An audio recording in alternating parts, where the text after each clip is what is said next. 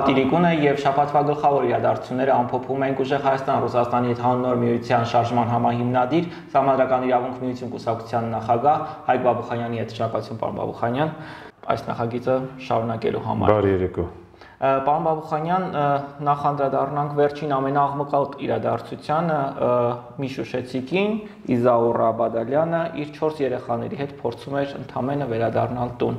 Սա լայն արձագանք գտավ, նույնիսկ գնահատվեց որպես դավաճանություն։ Դուք ինչ կասեք այս մասին, երբ այս կին ընդամենը փորձում էր իրացնել իր իրավունքը տուն վերադառնալու։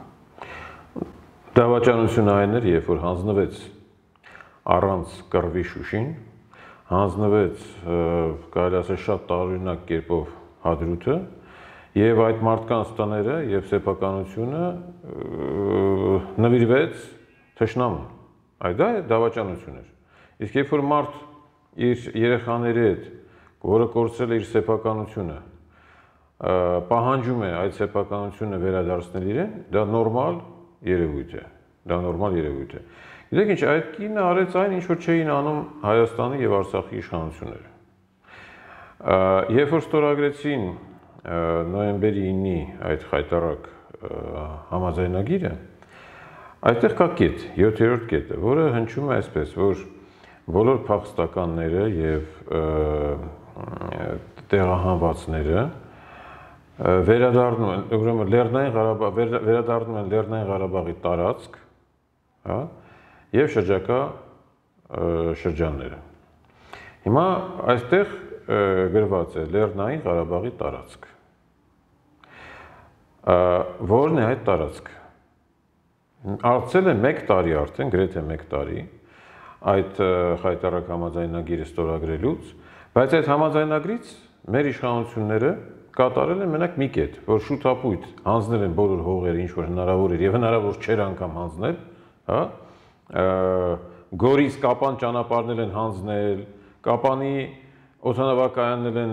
շրջակա շրջապատը հանձնել, հանձնել են ամեն ինչ, ինչ որ ել եմ ասում, հնարավոր էր հանձնել եւ հնարավոր չէր հանձնել։ Այդ դա լավ կատարել են։ Մնացած կետերը, որոնք այդտեղ գրված են, չեն կատարում։ Սկսած փախստականներից, գերիներից եւ այլ եւ այլ ճանապարհների բացումից Ստեփանակերտի օթանավակայանը միջև հիմա չի աշխատում եւ բազմաթիվ հարցեր կան, որոնք ուրեմն մնացել են չկատարված, բայց այս մի հողերը հանձնելը շատ արագ կարելի ասել շուտապույտ եւ գլխակորուստ ձևով հանձնել են Իրավունքի հետ զրույցում հենց այսօրվա թերթում, հա, հրապարակված Դավիթ Բաբայանը, արտաքին գործերի նախարար Արցախից, արմանք է արտահայտում, ասում է, չգիտեք, որ Ադրբեջանը միևնույնն է չէր կատարելու այդ պարտավորությունները ստանցնած։ Այս դեպքում ինչու ստորագրեցինք մենք մի համաձայնագրի տակ, որի մի շարք կետեր ըստ էության ֆիքսիվ էին։ Գիտեք ինչ, շատ կարևոր խնդիր է, թե մենք ընդհանրապես ինչ ենք մտածում Արցախի ապագայի մասին այ այն բոլոր կոչերը, որ մենք երբեք չենք լինի Ադրբեջանի կազմում կամ չգիտեմ, մենք անկախ ենք եւ կամ Հայաստանը ինչ է անում, դրանք դեռևս, այսպես ասած, դեկլարատիվ բնույթի հայտարարություններ են։ Կոնկրետ ինչ է կատարվում։ Մենք ունենք հետեւյալ փաստերը։ Հայաստանի Հանրապետության պաշտոնական մակարդակով այլևս չի օգտագործվում Արցախի Հանրապետություն տերմինը։ Այսինքն սա նշան է, որ Հայաստանը հրաժարվում է, այսպես ասած, Արցախի անկախությունից։ Երկրորդը Հայաստանի կառավարությունը ընդունել է քաղաքական որոշում, որ կառավարության ներկայացուցիչները, ոչ միայն վարչապետը, այլ կառավարության ներկայացուցիչները, այսինքն Հայաստանի իշխանության, գործադիր իշխանության ներկայացուցիչները չեն լինելու Արցախում Արցախի անկախության հրճակման տոնակատար տոնակատարություն չէր, բայց ասենք հանդիսություններին, տենց ասենք, հա Սա քաղաքական որոշում էր, այսինքն դրանով Հայաստանի իշխանությունները հրաժարվում են փաստացի այն ճանաչումից, որը մինչև այդ կար, երբ որ դու գնում ես այդ միջոցառմանը, անկախության հրճակմանը, դու վերահաստատում ես, որ դու ճանաչում ես փաստացի, գոնե իրավաբանորեն չէ, բայց փաստացի ճանաչում ես։ Այսինքն ներկայիս իշխանությունները դրանով հայտնեցին, որ նրանք հրաժարվում են ճանաչելու Արցախի անկախությունը ոչ միայն իրավաբանորեն, որը երբեք չի եղել, այլ նաև փաստացի։ Հա? Այսինքն տեսեք, բացարձակ անորոշություն։ Ոչ Հայաստանի իշխանությունները տպավորությունը կամ գիտեն ինչ են անում, բայց անում են շատ վատ բան, ինչպես անում էին մինչև պատերազմ, պատերազմի ընթացքում եւ շարունակում են անել շատ վատ բան, թաքցնում են դա ժողովրդից, կամ չգիտեն ինչ են անում։ Նույն Արցախի իշխանությունները։ Հիմա հետեւյալ հարցն է ցակում։ 1 տարի է անցել այդ համաձայնագրից, գրեթե 1 տարի։ Այդտեղ կա կոնկրետ կետ՝ Լեռնային Ղարաբաղի տարածք։ Հիմա ո՞րն է այդ տարածքը։ Որևէ մեկը կարող է բացատրել։ Դա այսօրվա տարածքն է, որը որ վերահսկում են ռուս խաղապահները։ Թե դա լղիմի տարածքն է, որը կար սովետական միության սահմանադրության մեջ որպես միության սուբյեկտ, լղիմը եղել է միության սուբյեկտ, որտեղ ֆիքսված է եղել սահմանադրության մեջ։ Թե դա այն տարածքն է, որը որ եղել է 94-ից մինչև 20 թիվը վերահսկվել է Արցախի կողմից, հա։ Հիմա ո՞ր տարածքի մասին է խոսքը։ Դե իշխանության համար ավելի կարևոր է ճանապարհների բացվելը, քան այն, թե որն է ի վերջո մեր պետական սահմանները լինելու Հայաստանում լինի թե Արցախում։ Գիտեք ինչ, ճանապարհ բացելը ինք իրանով վատ բան չի։ Ճանապարհ բացելը ավելի մեծ օգուտ կարող է բերել եւ տնտեսությանը եւ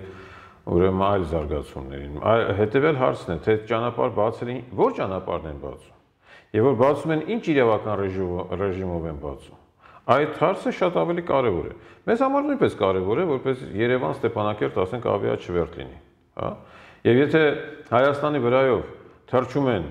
ադրբեջանական ուրեմն արդեն կան տվյալներ, որ ադրբեջանական ուրեմն քաղաքացիական ինքնաթիռներ, ապա ինչու Երևան, Ստեփանակերտ չվերթը մինչ օրս բացված չէ։ Այդ այդ այդ հարցերը կան։ Հիմա ինչ վերաբերում է իշխանություններին, կրկնում եմ։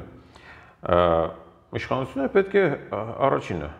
պահանջ դնեն, որ օկուպացված տարածքները, եթե մենք խոսում ենք այդ սահմանները ճշգրտելու մասին, հա, եւ հիմք ենք ընդունում խորհրդային ժամանակվա միջ հանրապետական սահմանները, ապա նույն կարգով պետք է քննարկվեր Լղիմի եւ Ադրբեջանի սահմանազատման հարցը։ Արցախի, այսինքն ավելի ճիշտ Արցախի հանրապետության եւ Ադրբեջանի սահմանազատման սահմանազատման հարցը էլի սովետական այդ դեպքում քարտեզներով եւ այդ քարտեզներով կար Լղիմ, որի իրավաճորտն է Արցախի հանրապետությունը եւ այդ Լղիմը ուներ կոնկրետ սահմաններ եւ Շուշին, Հադրութի շրջանը, Մարտունու շրջանի մի քանի գյուղերը, Մարտակերտի շրջանի մի քանի գյուղերը, Ասկերանի շրջանից որոշ հատված, դրանք բոլորը մտնում էին լղիմ սահմաններից ներս։ Հետևաբար պետք է այդ տարածքները վերադարձնեն, բայց ես 1 տարվա ընթացքում ոչ Հայաստանի իշխանություններից, ոչ Արցախի իշխանություններից չլսեցի, որ ընկերներ, եթե մենք գնում ենք սահմանազատման, ապա բարի եղեք այն օկուպացված տարածքները, որոնք հիմա լղիմից օկուպացված են Ադրբեջանի զինված ուժերի կողմից, դա պետք է ազատագրվել։ Դուք լսել եք այդպիսի հայտարարություն։ Ես չեմ լսել։ Չեմ լսել։ Այսինքն այդ վախվորացությունը, որ դրսևորում են, թե Երևանի, թե Ստեփանակերտի իշխանությունները այս հարցում, ինչպես բացատրել։ Այդ դեպքում հաջորդ հարցը։ Եթե ստորագրվել է, որ պետք է մարդիկ վերադարձնեն վերադառնան իրենց տները։ Հադրութում, Շուշիում, այն գյուղերում, որոնք օկուպացված են, ժամանակավորապես օկուպացված են ադրբեջանցիների կողմից։ Բայց այդ հարցը ինչի չի բարձրացվում։ Ինչի չի բարձրացվում հարց, որ մարդիկ ունեն այնտեղ սեփականություն, տներ, անշարժ գույք, շարժական գույք են թողել, թողել են ուրեմն անասուններ, հա? Բայց հարցը ո՞նց է լուծվելու։ Դե մենք նույնիսկ դեռ գերիների հարցը չենք կարողանում լուծել, որ մնաց Այսինքն ստացվում է, որ ելի եմ ասում, որ ինչքանով է իրական, ոչ իրական, դա թողնենք այն մարդկանց, ովքեր կուզենան վերադառնալ հադրուտ իրենց տները, թե չեն ուզենա վերադառնալ։ Բայց որ Հայաստանի իշխանությունները եւ Արցախի իշխանությունները ուրեմն պետք է պահանջեն այն կետերի կատարումը, որը ստորագրած է գերիներ, փախստականների վերադարձ, մարդկանց իրանց կողմից սեփականության տնորինում, իրանց սեփականության տնորինումը, հա, դա կբերի հաջորդ քայլի։ Հիմա իրականը իրական չէ։ Եթե կան մարդիկ, ասենք օրինակ 100 հոգի որոշեցին վերադառնալ, չգիտեմ, Ազով գյուղը Հադրութի շրջանի, հա, եւ ըստ այդ պայմանագրի Ադրբեջանը պարտավորվում է կատարել 7-րդ կետը։ Ինչպես է դա շարունակվելու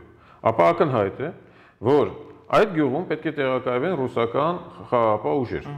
Դա ակնհայտ է, որ նրա որովհետև նույն պայմանագրով նրանց վրա է դրված անվտանգություն այդտեղ եւ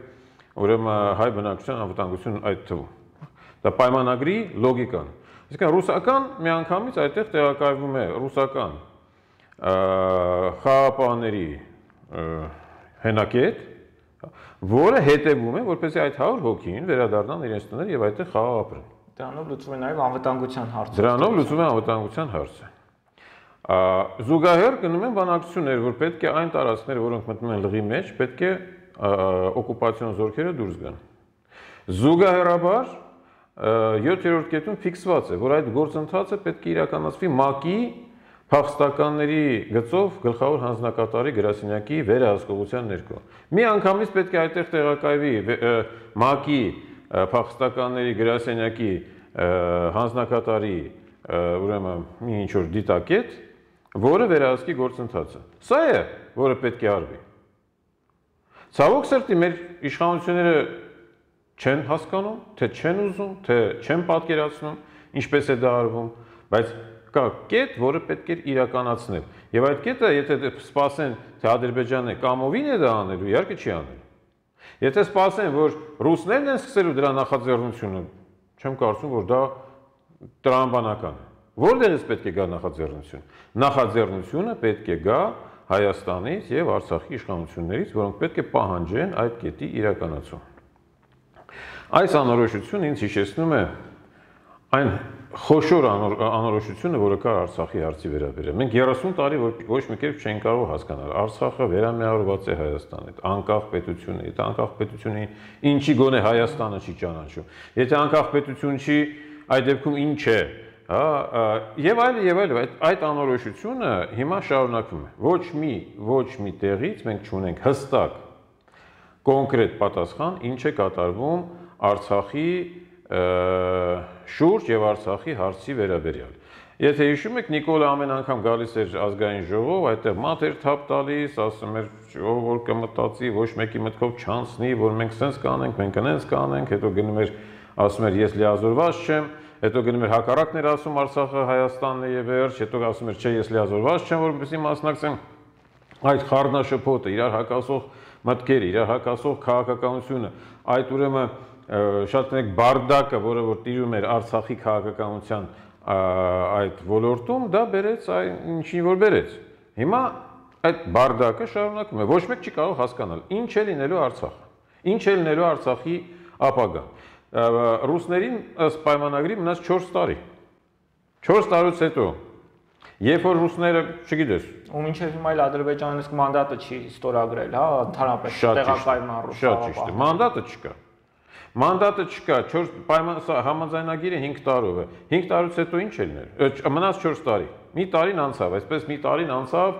ընտրություն արեցին ինչ որ անկապ Նիկոլին վերարտադրելու համար, հա, եւ այս այսպես ասած գլխավոր ընդդիմությունը գնաց այնտեղ որպես այդ process-ին լեգիտիմություն տա։ Հիմա է տալիս, որ այդ ազգային ժողովում են գնում գալիս, հա։ Հիմա մի տարին անցավ, եւս 4 տարի Այս մի տարվա նման ոնց որ աչքերդ փակում բացում ես անցնում։ 4 տարուց հետո որևէ մեկ ունի պատկերացում ինչ ելնել։ Ոչ։ Բացարձակապես։ Որովհետև չկա կոնկրետ ուրեմն քաղաքականություն, չկա պատկերացում ինչ պետք է լինել ինչ պետք է անել Արցախի հարցում։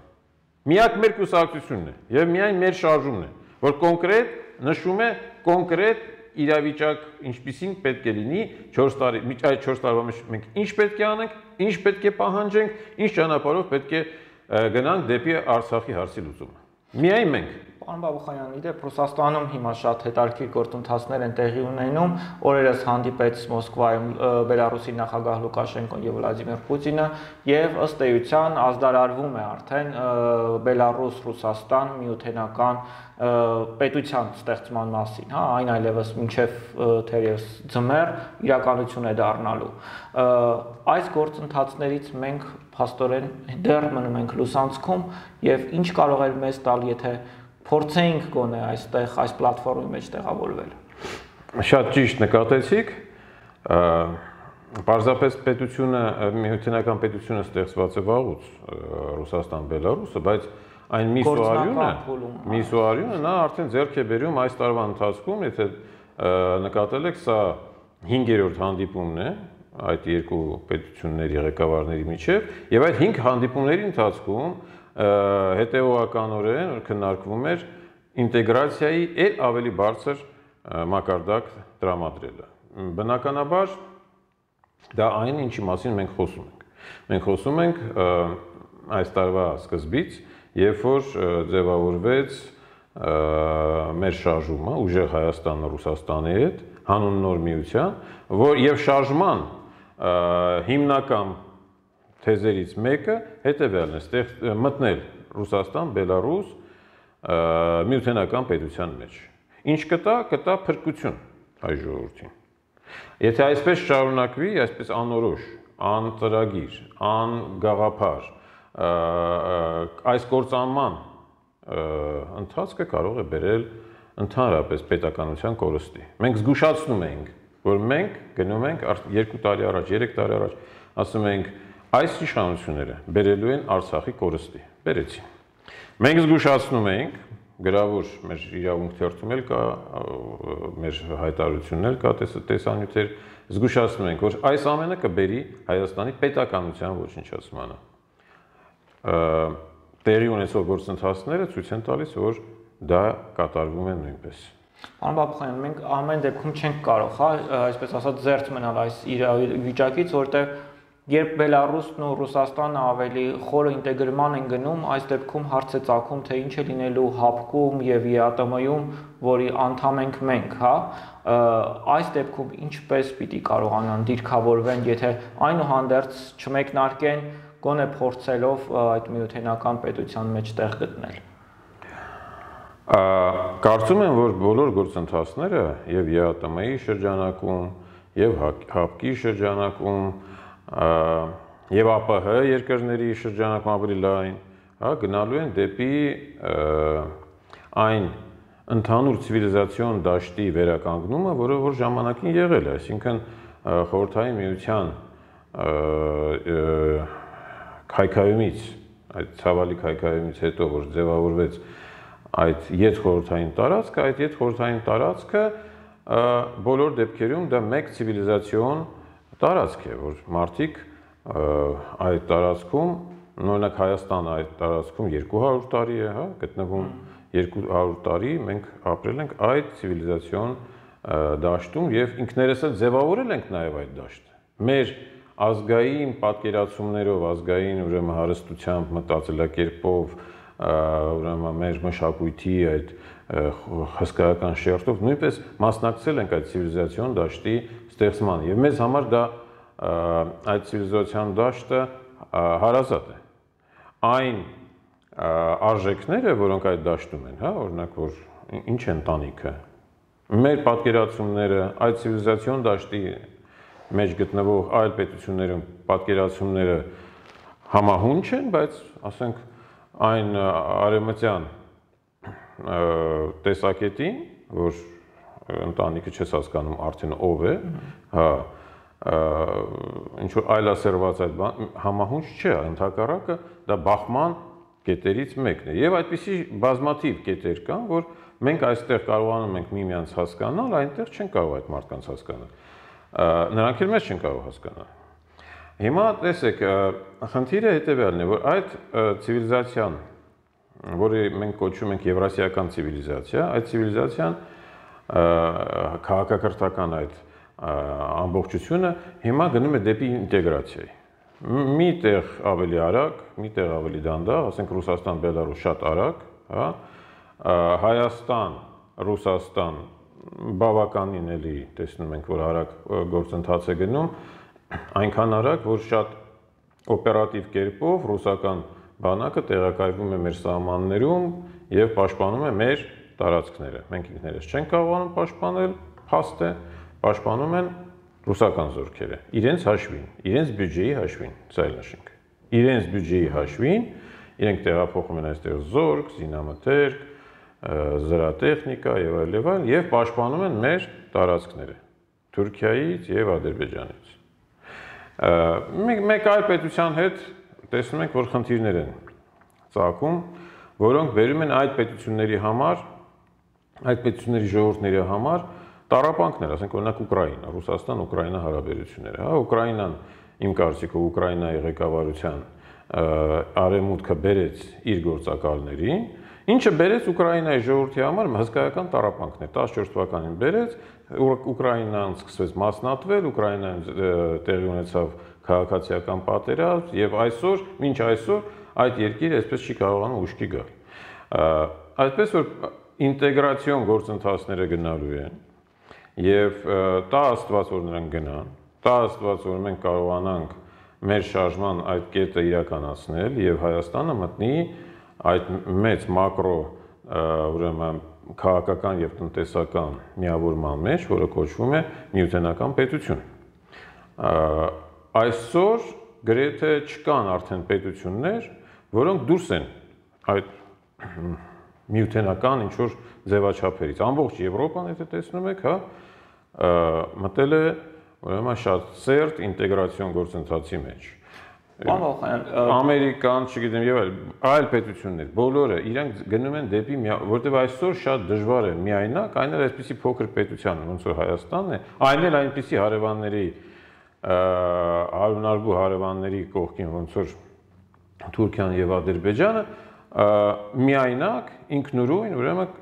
գոյատևել ընդհանրապես այս աշխարհում։ Բելարուսը արդեն ազդարարում է, որ իրենք հնարավորություններ են հա ունենալու Բրեստից մինչև Վլադիվոստոկ, ըստ էության ասելով, որ Ռուսաստանի ամբողջ ռեսուրսներում իրենք իրավահավասար, այսպես ասած, հնարավորություն են ունենալու։ Արդյոք մենք կարող ենք ակնկալել, որ Հայաստանը նույն Բրեստից մինչև Վլադիվոստոկ կարող է այդ հնարավորությունները ձեռք բերել, թե եթե հապաղենք այդ իրավահավասար կարգավիճակում չենք հայտնվի այդտեղ։ Առաջինը, որ մենք արդեն ժամանակ կար, որ ունեցել ենք այդ հնարավորությունները Բրեստից մինչև Վլադիվոստոկ եւ օգտվել ենք այդ հնարավորություններից եւ տեսեք այն ժամանակ Հայաստանը Հայաստանի զարգացման տեմպերը տնտեսական զարգացում, ժողովրդագրական զարգացում, մշակութային զարգացում, սպորտի ոլորտում զարգացում, ցանկացած ոլորտում գիտության, կրթության, հա, վիթխարի մենք քայլեր էինք կատարում դեպի առաջ։ Այն ժամանակ, երբ որ այո, մենք օգտվում ենք այդ ամեն ինչից։ Եվ հիմա մենք պետք է չկատարենք այն սխալը, որը կատարել էինք կատարել էին մեր ուրեմն նախնիները 20-րդ դարի 18-ից 20 թվականներին, երբ որ Հայաստանը դարձավ խաղալիք արևմտյան ուժերի ձեռքին,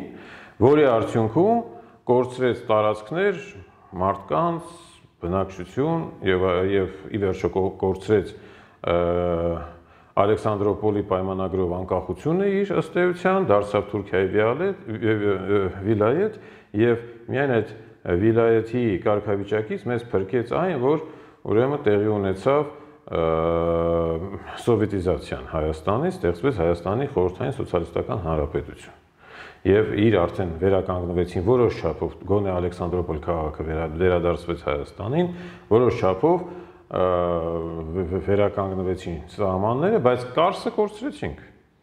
Այդ էսեք Ադրբեջանը շուտ հասկացա, որտեղ այդ թուրքերի մոտ այդ զգացողությունը քթածակ ասած է, մի քիչ ավելի լավ է զարգացած։ Եվ նրանք ավելի շատ են սիրում իրենց երկիրը։ Մենք շատ ենք տրվում օտար խաղերի։ Թուրքերը, ադրբեջանցիները չլինելով երբեք այդտեղ նույնիսկ պետություն չի եղել, ոչ էլ ճանաչել են իրենց ոչ մեկ։ Եվ այլ նրանք ուրեմն արդեն 20 թվականի ապրիլին հասկացան, որ պետք է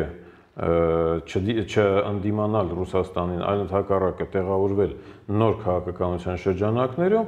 եւ ուրեմն հրճակեցին Ադրբեջանի սովետական սոցիալիստական հանրապետություն։ Մենք կարող ենք դա անել մայիսին, մենք դա չարեցինք մայիսին, հույս էլի հույս կերակրվելով այդ Սևրի պայմանագիր, չգիտեմ ինչ է որ թուղթ է ընդամենը, հա, բայց այդ ընթացքում Թուրքիան սկսեց ագրեսիան, երկրորդ հայ-թուրքական պատերազմը, գրավեց, ինչպես գիտեք, Կարսը,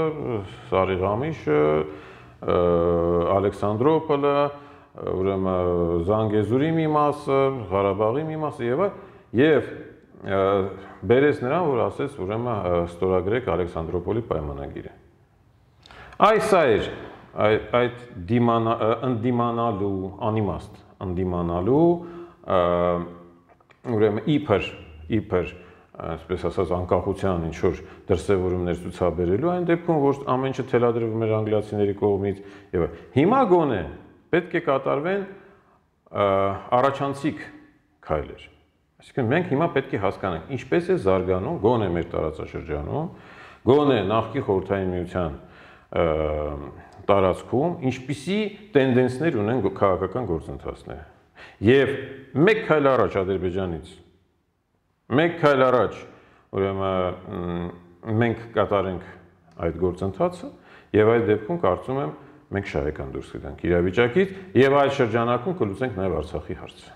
Շուտով նշելու ենք, չգիտեմ, ճիշտ է բառը թե ոչ, Հայաստանի անկախության օրը, պարոն Բաբուխանյան։ Այս 30 տարվա անկախությունը ինչ տվեց մեզ եւ արդյոք մենք հիմա ունենք այդ տրամադրություններն ու այսպես ասած սիրտը նշելու անկախության օրը, այն էլ գունագեղ եւ մասշտաբային, ինչպես իշխանությունն է ասում։ Ուսենք դրանից որ իշխանությունը այդ գունագեղը անում է նրա համար, որպեսզի այն դավաճանությունը, որը տեղի ունեցավ պատերազմի ժամանակ, ստվերվի, մոռացվի, որպեսզի ուրեմն եւս մեկ անգամ, այն ինչպես իրանք ընտրություններ անցկացրեցին, որպեսզի վերահաստատեն իրենց այդ խունտայի իշխանությունը, նրա համար հիմա փորձում են այսպիսի օրեն տոնակատարություններով, փուչիկներով, չգիտեմ, զուրնաներով եւ այլ եւ այլն, փորձում են ստվերել այն սարսափելի իրադարձությունը, որ տեղի ունեցավ, այն կորուստը, որ տեղի ունեցավ, այսօրվա այս սարսափելի եւ խայտարակ վիճակը, հա, որ մենք չենք կարող մեր երկու մարզերի հետ պարզապես կապ հաստատել, հա, Արցախ չես կարող գնալ, ճանապարհը ուրեմն վերահսկվում է, եթե ռուսները մի պահ դուրս գան, ընդհանրապես կկտրվի։ Սյունիք չես կարող գնալ, էլի ուրեմն Գորիսից այն կողմ, եթե ռուսները մի պահ դուրս գան, ուրեմն անմիջապես այդ ճանապարհը կկտրվի։ Այս սարսափելի, այս ուրեմն խայտարակ իրավիճակը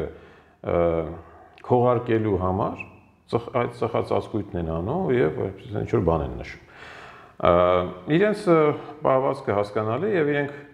10-մի 10000 հոգի մարդ քաղաքին հրապարակում ցույց կտանք, ասեն, տեսեք ժողովուրդը ինչքան ուրախ է եւ երջանիկ։ Բայց այն որ մնացած ուրեմն 2 միլիոն 980 հազարը չեն մասնակցում այդպիսի խայտարակորոն տոնակատարություններին, նրանց համար միևնույնն է։ Ձեր այն հարցը թե ինչ ենք նշում։ Տեսեք, Խորհրդային միությունը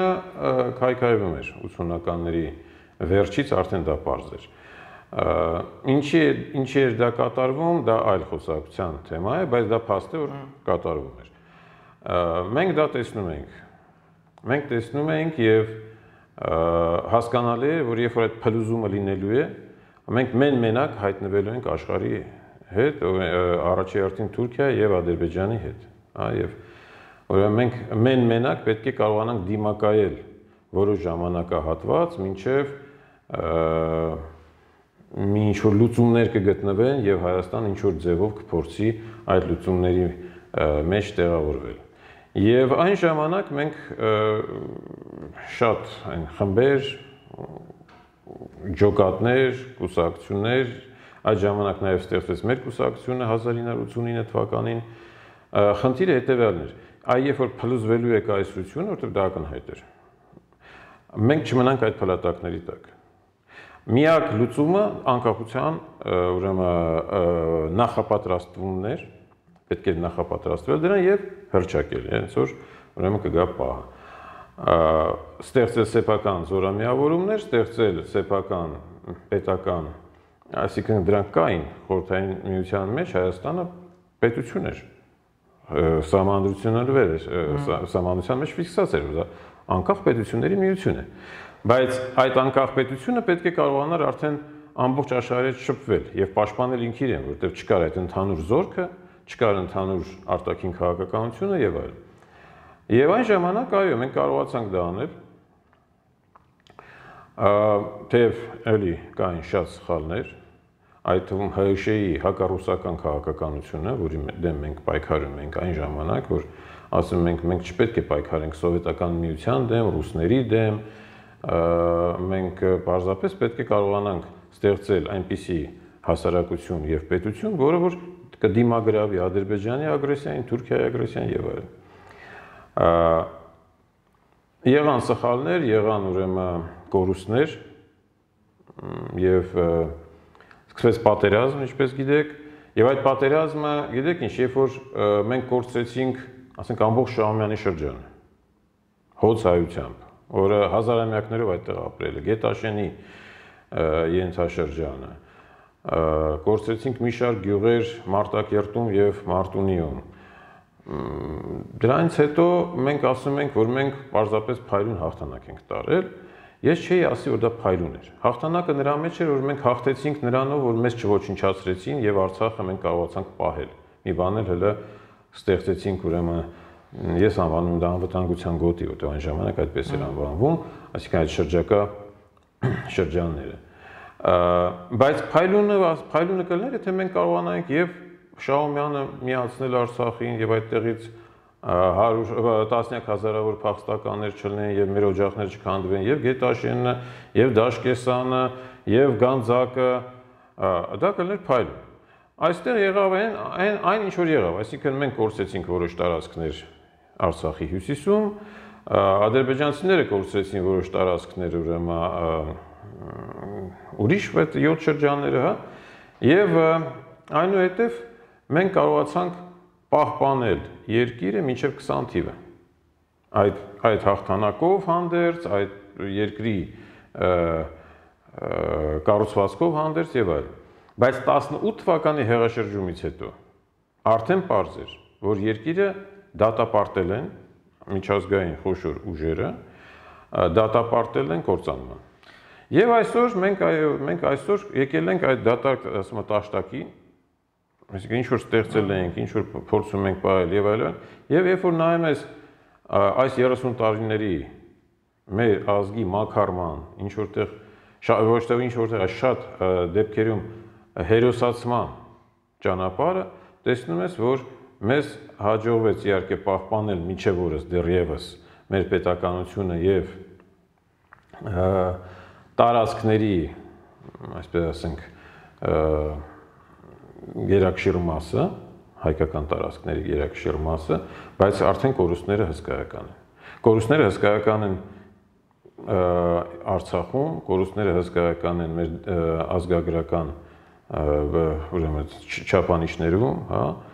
դեմոգրաֆիան սարսափելի է։ Մենք սովետական միությունից դուրս են գալիս գրեթե 4 միլիոն բնակչությամբ, այսօր մնացել է 2.5-ը, որից կեսը տեղում չի եւ այլ եւ այլ, հա։ Աստորեն ստացվում է, որ անկախությունը մեզ տվեց միայն կորուստ եւ ցավ պարոն Բաբուխանյան, այսինքն 30 տարվա ընթացքում այդ ձեռքբերումները ինչ որ ժամանակավոր էին եւ հիմա ունենք ոչինչ եւ բոլոր ոլորտներում ըստ էության, տնտեսությունից սկսած մինչեւ մշակույթ ինչպես սա ասեմ արդյոք ամեն ինչ հանուն ոչինչի էր ոչ ամեն ինչ հանուն փրկության էր որովհետեւ ես ձեր ձևակերպման համաձայն չեմ մեզ անկախությունը տվեց այն, որ մենք գոյատևեցինք այս երկրագնդի վրա, որպես պետություն, որպես ազգ, հա, որ մենք չկորցրեցինք պետականությունը։ Այն ժամանակ մենք այլ ելք չունեինք։ Մենք չէինք որոշում մնա սովետական միությունը, չմնա սովետական միությունը, թեև եմ ասում սխալներ կային, մենք մի քիչ ավելի առաջ էինք անցնում իրադարձություններից, քան դա երևի պետք էր, Բայց ընդհանուր առմամբ անկախությունը տվեց դա, որ մենք մնացինք որպես ազգ, որպես պետություն, մինչև օրս, այս 30 տարիները։ Իրավիճակը բայց փոխվել է։ Հա։ Իրավիճակը փոխվել է, մենք պետք է հասկանանք, որ այդ 30 տարիների մեջ մենք զարգացում չունեցանք։ Եւ այստեղ բազմաթիվ սխալներ կան, որոնք արդեն առաջորվանից մինչև այսօր այդ սխալները եղել են 18 թվականի հեղաշրջումից հետո այդ սխալները հազարապատկվել են, միլիոնապատկվել են եւ այլն եւ պետության քայքայումը գնաց այնպիսի տեմպերով, որ արդեն հնարավոր չի այն կասեցնել։ Դրա համար գիտեք ինչ, մենք պետք է հասկանանք, երբ էր Հայաստանը ավելի լավ պայմաններում զարգանում։ Օրինակ 30 տարի վերցրեք մինչև անկախությունը, հա 60-ականներից, 1960-ականներից մինչև 1990-ականների, հա մենք ունեցել ենք վիթխարի թռիչքներ քաղաքական ուրեմն զարգացում երկրում պետականաշինության առումով երկրի տնտեսության մեջ հսկայական աճ նոր գործարաններ ֆաբրիկաներ ճանապարհներ գիտությունը վիթխարի թռիչքներ ունեցավ կրթությունը մշակույթը հա սպորտը հայաստանի ուրեմն մարզիկները ամբողջ աշխարհով թնդում էին, օլիմպիադաներ էին հաղթում, ֆուտբոլային թիմերը հաղթում էին ուրեմն աշխարհով մեկ ուրեմն նույնիսկ հայտնի իր արդեն Արարատ 73 եւ հա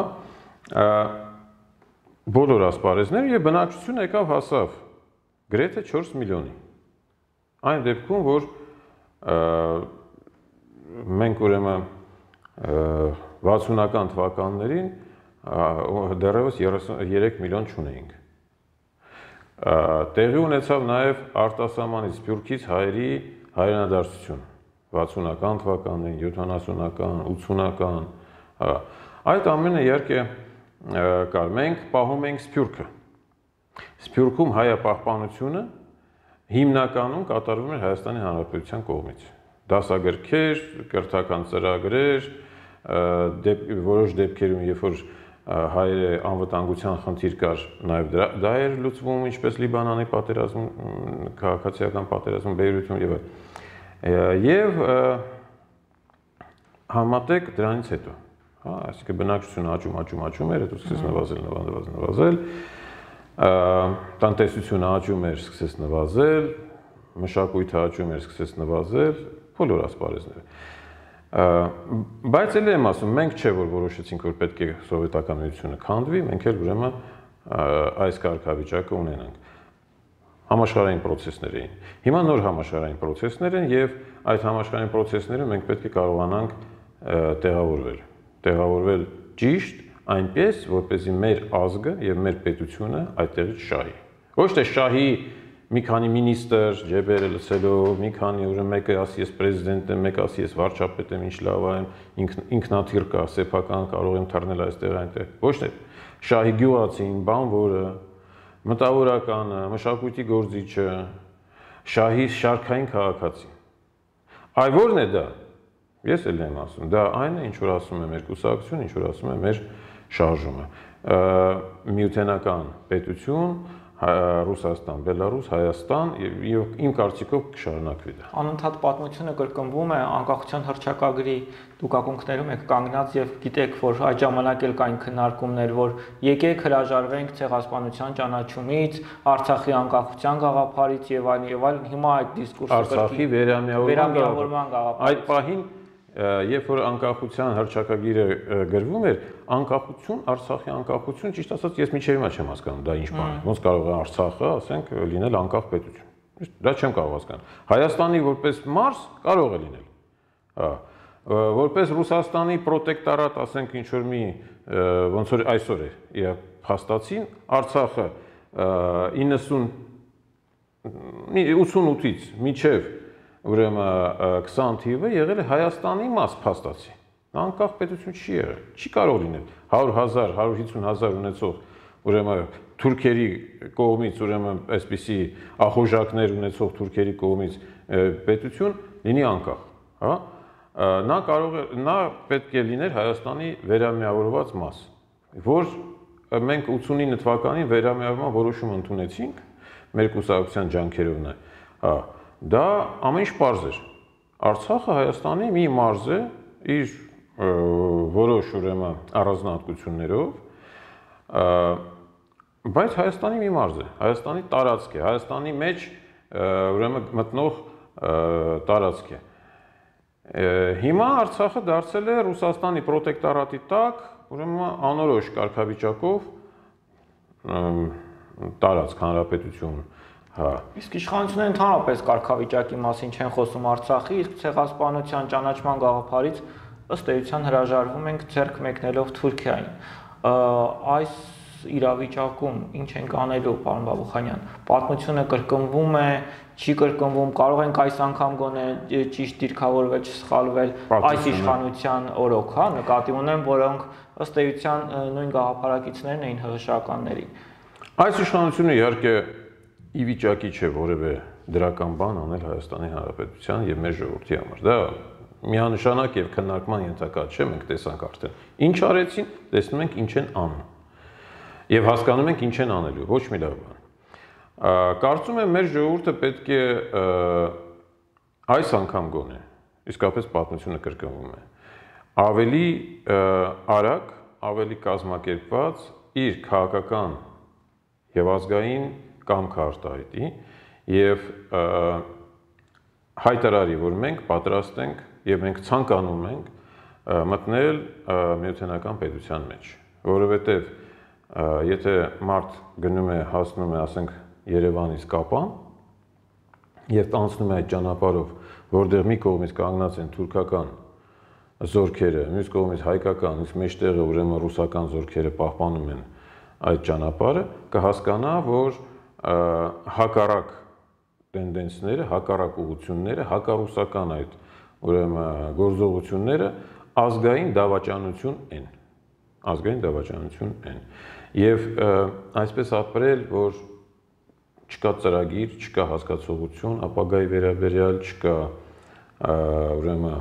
ձեր ասած ազգային գաղափարների պաշտպանություն, ամեն ինչ ստորադասվում է, ասենք Թուրքիայի հետ բարեկամություն անելու, Ադրբեջանի հետ բարեկամություն անելու համար։ Ես դեմ չեմ ստեղծել քիչ թե շատ նորմալ հարաբերություններ, ապահովել կայունություն մեր տարածաշրջանում, ապահովել ուրեմն եւ տնտեսական զարգացում, կոմունիկացիաների աշխատանք, ես դեմ չեմ, բայց ինչ գնով։ Ամբողջը հարցը հետեւյալն է, ինչ գնով։ Եթե պետք է հրաժարվեն գոնե լղիմի տարածքային ամբողջականությունից, եթե պետք է հրաժարվեն Հայաստանի Հանրապետության տարածքային ամբողջականությունից, եթե պետք է այդ ճանապարհները վերահսկեն ադրբեջանցիների կողմից, ոնց որ այսօր վերահսկվում են բազմաթիվ արդեն ճանապարհներ Հայաստանի Հանրապետության մեջ, հա, ինչպես ասենք Գորիս Կապան ասեցի, ապա այդպիսի բարեկամությունը կտևի շատ կարճ, որովհետև Թուրքիա խոժակը գնալով աճելու է եւ եթե չլինեն այն ուժերը, որոնք մեզ կպաշտպանեն, իսկ ակնհայտ է, որ մենք սեփական ուժերով մենք չենք կարող մեր անվտանգությունը ապահովել։ Դա ցույց տվեց նաև վերջին պատերազմը եւ ցանկացած ուղեղ ունեցող մարդ հասկանում է, որ եթե կա 100 միլիոնից Թուրքիա եւ կա 10 միլիոնից Ադրբեջան, չհաշված են մնացած terroristներ, իսլամական բայևիկներ, չգիտեմ ինչեր եւ այլն, դրանց թողում ենք մի կողմ, որոնք ունեն եւ հսկայական բանակներ, եւ ունեն հսկայական տնտեսական ռեսուրսներ, հասկանալի է, որ մենք պետք է գտնենք մեր երկրի եւ մեր ժողովրդի անվտանգության կոնկրետ բանաձև Իսկ անկախության 30-ամյակը իհարկե այդ հակասական զգացումներով երբ որ մենք դիմավորում ենք, իհարկե այսօր դա վերածել տոնակատարության երբ որ դեռ մի տարին չի լրացել այն զոհերի, որոնք մենք ունեցել ենք, դա իհարկե անբարոյականություն նշել պետք է, անդրադառնալ պետք է, վերլուծել ինչպես հերոսամարտերը, այդպես էլ սխալները, կորուստները, դավաճանությունը պետք է առիթ է, որպեսզի մենք նայենք դեպի ապագա, առիթ է, որպեսզի մենք այս անգամ գոնե ստեղծենք կոնկրետ եւ հաշվարկված ծրագրեր մեր երկիրը եւ ազգը պաշտպանելու համար, բայց վերածել ուրեմն փուչիկների, այն զուգնաների, թմբուկների իհարկե դրա իրավունքը մենք չունենք։ Շնորհակալ եմ հետաքրքրության համար։ Ես էլ եմ շնորհակալ։